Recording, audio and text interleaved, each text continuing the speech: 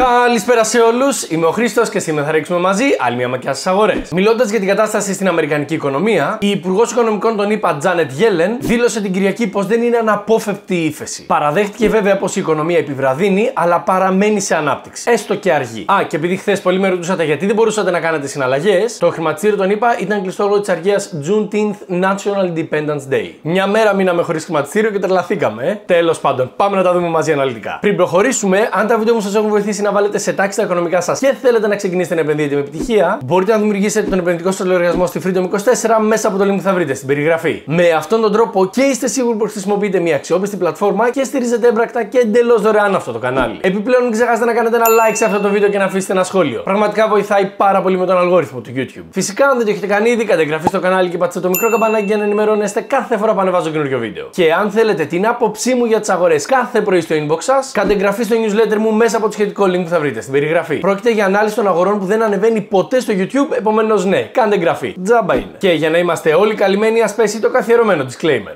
Δεν είμαι επενδυτικό ή νομικό σύμβουλος. Όλες οι απόψεις που εκφράζονται σε αυτό το βίντεο και γενικότερα σε αυτό το κανάλι αποτελούν αυτό και μόνο. Δηλαδή τις απόψεις μου. Και σκοπό έχουν να σας ψυχαγωγήσουν. Μην λαμβάνετε επενδυτικέ ή νομικές συμβουλές από έναν τύπο στο διαδίκτυο. Μιλήστε πάντα με ένα πιστοποιημένο σύμβουλο. Για την κατάσταση που επικρατεί στην Αμερικανική οικονομία, μίλησε η Υπουργός Οικονομικών Τζάνετ Γέλεν. Συγκεκριμένα, σε συνέντευξη που έδωσε στο ABC News, δήλωσε: Δεν πιστεύω ότι η ύφεση είναι αναπόφευκτη. Η οικονομία επιβραδύνει προς μια αργή και σταθερή ανάπτυξη. Είναι φανερό πως οι φόβοι για ύφεση στην οικονομία των ΗΠΑ έχουν αυξηθεί μετά από την άνοδο των επιτοκίων. Ο πρόεδρος της Fed, Jerome Powell, ανέφερε ότι στόχος του είναι να μειώσει τον πληθωρισμό, διατηρώντας ισχυρή την αγορά εργασίας. Αυτό απαιτεί ταλέντο και τύχη, όμως πιστεύω είναι εφικτό, είπε η Γέλεν, χαρακτηρίζοντας μη αποδεκτό το επίπεδο του πληθωρισμού. Σημείωσε επίσης ότι η μείωσή του είναι προτεραιότητα του Προέδρου Biden. Σε ανακοίνωση της προηγούμενης Τετάρτης, ο Πάουλ δήλωσε πως δεν επιδιώκει μία ύφεση. Μοναδικός του στόχος είναι η μείωση του πληθωρισμού στο 2%, κάτι που πιστεύουν ότι θα γίνει εντός του έτους. Τέλος, η Γέλεν θεωρεί πως υπάρχουν πολλοί λόγοι για να μην υπάρξει ύφεση. Είναι σαφές ότι οι περισσότεροι καταναλωτές, ακόμα και τα νοικοκυριά χαμηλού εισοδήματος, διαθέτουν οικονομίες που μπορούν να χρησιμοποιηθούν ως ανάχωμα και θα τους επιτρέψουν να συνεχίσουν να δαπανούν. Αντίθετη άποψη με τον Πάουελ φαίνεται να έχει η πρόεδρος της Ομοσπονδιακής Τράπεζας του Cleveland, Λορέτα Μέστερ. Μάλιστα, σε σχετική της δήλωση, η Μέστερ ανέφερε ότι θα πάρει πάνω από δύο χρόνια μέχρι να δούμε τον πληθωρισμό στο 2%. Σε δική της συνέντευξη στο CBS News την Κυριακή, δήλωσε ότι δεν πρόκειται να δούμε άμεσα πληθωρισμό 2%. Θα χρειαστούν δύο χρόνια, αλλά θα κινηθεί προς τα κάτω. Το θέμα της ύφεσης βέβαια συμφώνησε, θεωρώντας και εκείνη πως δεν θα δούμε ύφεση παρά την μείωση της ανάπτυξης. Πάμε τώρα να δούμε πώς έκλεισαν οι αγορές την προηγούμενη εβδομάδα. Προσπάθειες ανάκαμψης έκαναν την προηγούμενη εβδομάδα οι γενικοί δείκτες της Wall Street. Παρ' όλα αυτά, τα πρόσημα έμειναν μεικτά. Και αυτό γιατί παρά τις προσπάθειες του Nasdaq για ανάκαμψη, ο Dow Jones παρέμεινε σε αρνητικά επίπεδα. Η συνεδρίαση της Παρασκευής συγκεκριμένα έκλεισε κάπως έτσι. Dow Jones μείον 0,13%,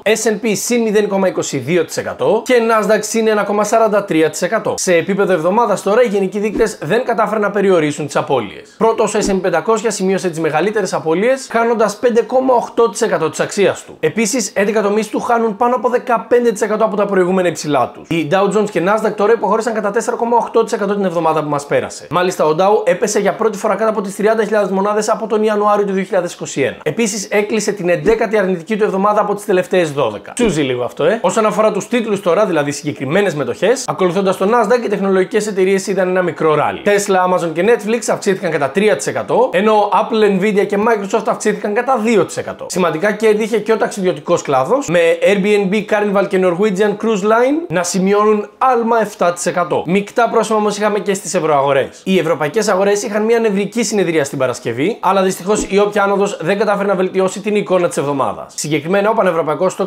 600 σημείωσε άνοδο 0,1%, με τον κλάδο της τεχνολογίας να κερδίζει 1,4%. Ο Βρετανικός FTSE 100 υποχώρησε κατά 0,41%, ο Γερμανικός DAX σημείωσε κέρδη 0,67%, ενώ ο Γαλλικός CAC 40 έκλεισε οριακά χαμηλότερα κατά 0,06%. Σε επίπεδο εβδομάδας όμως οι απώλειες παρέμειναν υψηλές. Ο Βρετανικός FTSE σημείωσε απώλειες 4,1%, ο DAX έχασε 4,6% και ο CAC 40 έκλεισε την εβδομάδα στο μείον 4,9%. Ματώνουν τα κρυπτονομίσματα. Κάτω από τα 20.000 δολάρια βρέθηκε ο βασιλιά των κρυπτονομισμάτων. Το Bitcoin βρέθηκε μέχρι τα 17.749 δολάρια μέσα στο Σαββατοκύριακο. Παράλληλα, το Ethereum διολίστησε στα 880 δολάρια. Μιλάμε για τιμές που είχαμε να δούμε πολλά χρόνια. Κατά τη διάρκεια της Κυριακής, βέβαια, τα δύο μεγάλα κρυπτονομίσματα κατάφεραν να ανακάμψουν σημαντικά. Συγκεκριμένα, το Bitcoin έφτασε στην περιοχή των 19.500 δολαρίων και το Ethereum έφτασε ξανά το ψυχολογικό όριο των χιλίων δολαρίων. Σύμφωνα με τα στοιχεία του Coin Market Cap, η συνολική αξία των κρυπτονομισμάτων την Κυριακή έφτανε τα 860 δισεκατομμύρια, παρουσιάζοντας αύξηση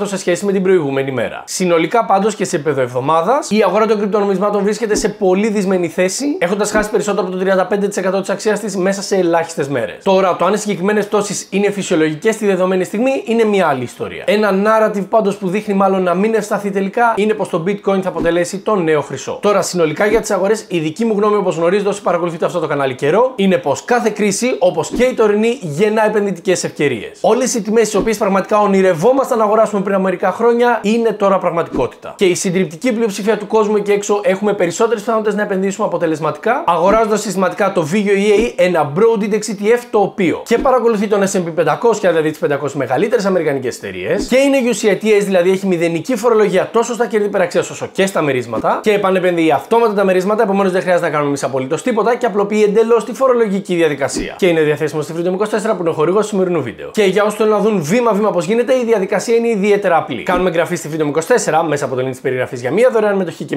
0% προμήθεια. Πάμε στο web terminal, γράφουμε VUAA, πατάμε αγορά και το έχουμε. Όπως πάντα, αν τα βίντεο μου σας έχουν βοηθήσει να βάλετε σε τάξη τα οικονομικά σας και θέλετε να ξεκινήσετε να επενδύετε με επιτυχία, μπορείτε να δημιουργήσετε τον επενδυτικό σας λογαριασμό στη Freedom 24 μέσα από το link που θα βρείτε στην περιγραφή. Με αυτόν τον τρόπο και είστε σίγουροι πως χρησιμοποιείτε μια αξιόπιστη πλατφόρμα και στηρίζετε έμπρακτα και εντελώς δωρεάν αυτό το κανάλι. Και αν θέλετε την άποψή μου για τις αγορές κάθε πρωί στο inbox σας, κάντε εγγραφή στο newsletter μου μέσα από το σχετικό link που θα βρείτε στην περιγραφή. Πρόκειται για ανάλυση των αγορών που δεν ανεβαίνει ποτέ στο YouTube, επομένως ναι, κάντε εγγραφή στο newsletter. Και όπως είπαμε, τζάμπα είναι. Σας ευχαριστώ λοιπόν πάρα πολύ που είδατε αυτό το βίντεο, ελπίζω να σας βοήθησε και τα λέμε στο επόμενο.